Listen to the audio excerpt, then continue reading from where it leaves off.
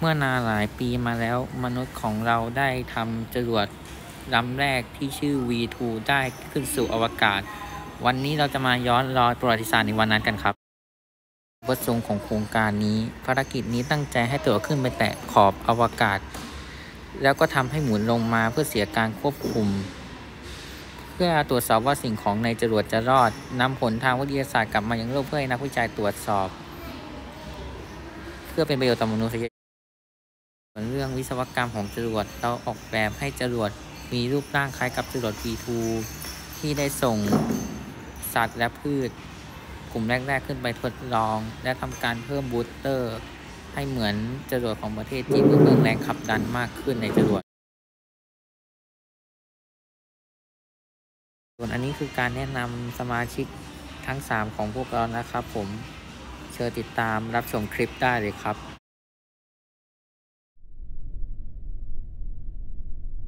ไปกันเลยครับผม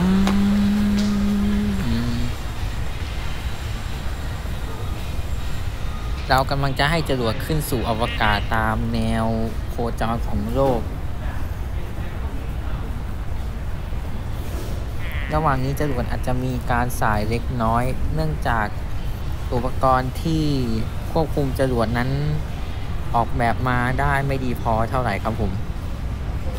แล้วจะจะนำท่านสู่อวกาศที่ความสูงที่ 42 กิโลเมตรไปด้วยกัน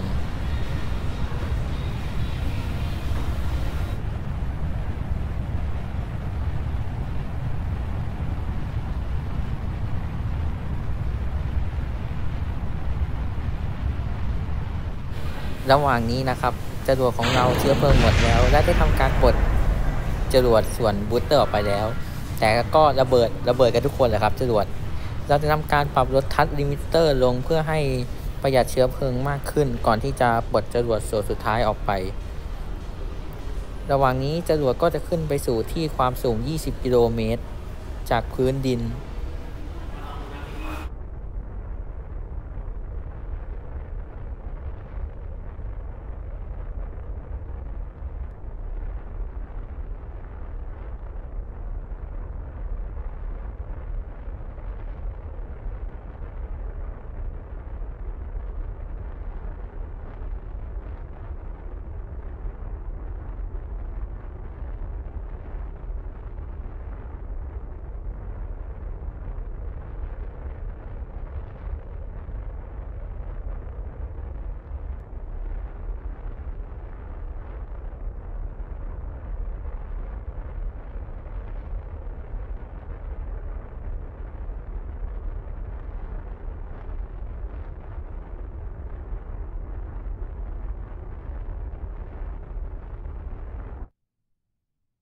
เชื้อเพลิงของจรวดได้หมดลงแล้วครับผม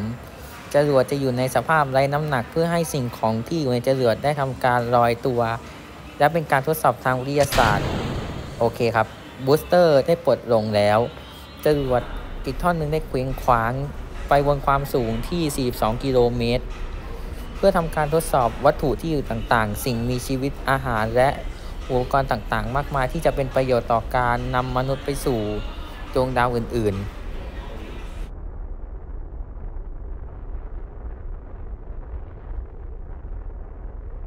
เชื้อเพลิงก็ได้หมดลงแล้วครับ เราได้ทำการ burn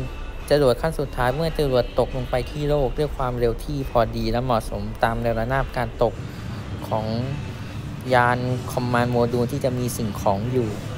โอเคครับ เรากำลังทำการ burn และในจรวดนั้นจรวดก็สูญเสียการควบคุมเล็กน้อย มันทั้งโยก แล้วก็แกว่ง เพราะ balance ที่ไม่สมดุล โอเคครับ ตอนนี้ command module ถูกเปิดออกแล้วนะครับ และกำลังตกลงสู่พื้นน้ำทะเลในโลกของเคอร์บิน และคุณนักบินอวกาศสมมุติของเราด้วยนะครับผม โอเคครับ เราจะหยุดไว้ตรงนี้ก่อน เพราะว่าเกมของเราไม่ได้ออกแบบอะไรมากครับผมทดสอบที่ได้รับนะครับจรวดของเราได้ขึ้น ไปไม่ถึงชั้นวงโคจรที่ดาวเทียมขนาด QZ นะครับ แต่เราได้ขึ้นไปถึงชั้น stratosphere ซึ่งสเกลของดาวเคอร์บินกับสเกลของโลกจริงมันต่างนะครับ จึงอาจจะเกิดให้เกิดความผิดพลาดได้ แต่ถ้าสมมติว่าเราเร่งจรวดตามเส้นสีดำอีกเส้นหนึ่งจากเส้นสีฟ้า เราก็จะสามารถไปถึงวงโคจรของวงโคจรต่ำ การทดสอบนะครับถั่วแมลงวันแมลงสาบและแฮมเบอร์เกอร์ที่ส่งไปทุกอย่างรอดกลับมาได้ส่วนเพื่อมีการเจริญเติบโตบนโลกที่ดีขึ้นครับผม